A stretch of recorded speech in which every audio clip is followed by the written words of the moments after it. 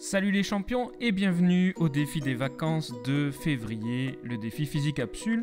On va commencer avec un petit peu d'histoire puisque avant la chimie que l'on connaît actuellement, il y avait l'alchimie. Alors pour faire simple, l'alchimie en Europe, elle avait deux buts.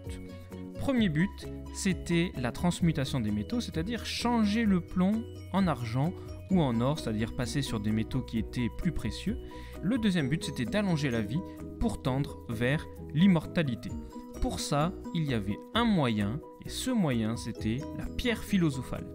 Alors il faut savoir que l'alchimie a connu son déclin aux alentours du XVIIIe siècle avec les travaux notamment d'Antoine Lavoisier qui a montré que l'eau contient de l'hydrogène et de l'oxygène. C'est le début de la chimie moderne telle qu'on la connaît actuellement. Et eh bien aujourd'hui je vais vous montrer qu'en fait l'alchimie c'est possible, la preuve en image. Dans un récipient, un liquide est en train de bouillir et on va verser à l'intérieur une pièce de cuivre. On va laisser la pièce pendant quelques minutes et on accélère la vidéo.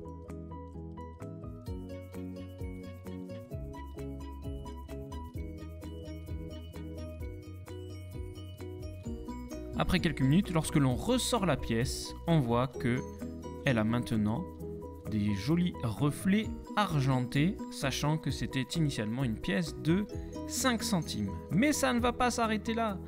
Pourquoi? Parce que vous allez voir qu'une deuxième étape va nous permettre de faire en sorte que cette pièce devienne une pièce dorée. Et pour ça, il suffit simplement de la chauffer.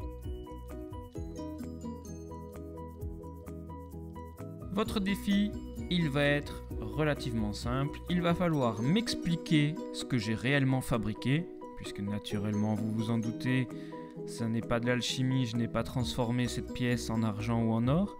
Et je vais vous demander de m'expliquer aussi avec quoi je l'ai fait, c'est-à-dire en gros, qu'est-ce qu'il y a dans le liquide magique. Alors comme pour les vacances de Noël, il n'y a pas un seul défi, il y a un deuxième défi. Ce deuxième défi, c'est l'objet mystère. L'objet mystère, c'est celui qui s'affiche maintenant sur le côté gauche, j'aimerais que vous me disiez, eh bien, quel est cet objet, qui l'a inventé et à quelle époque.